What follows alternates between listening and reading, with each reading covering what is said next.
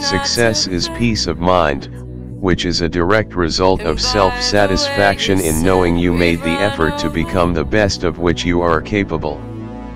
John Wooden all the noise out. See if the time's out. Fade all the noise There are three ways to ultimate success, the first way is to be kind, To come and the second way is to be kind, the third way is to be kind. Mr. Rogers